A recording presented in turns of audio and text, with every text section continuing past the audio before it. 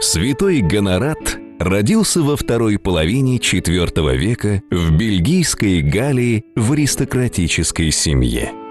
Несмотря на запреты отца, молодой человек стремился к благочестивой жизни и вдохновил на нее своим примером старшего брата Винанция.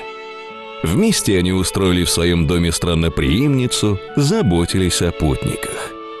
А через время братья решили подвязаться в отшельничестве. Отправились они на восток через Палестину, Сирию, Египет, чтобы познакомиться с монашеской традицией.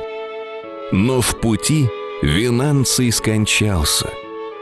Святой Гонорат, проведя некоторое время в уединении, поселился на одном из Лиринских островов. Там вокруг него собралась небольшая община учеников – которое все благоустраивалось и разрасталось. И уже вскоре пустынный остров стал одним из самых великих монашеских центров Запада. В 427 году святой Гонорат был избран епископом Арилата и проявил себя на сим поприще, воистину как настоящий архипастырь.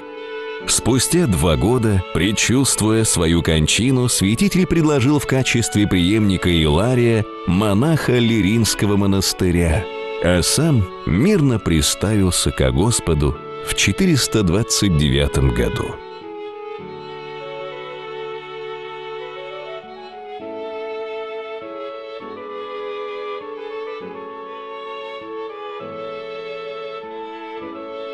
Двадцать девятое января День памяти святителя Гонората Арльского, епископа.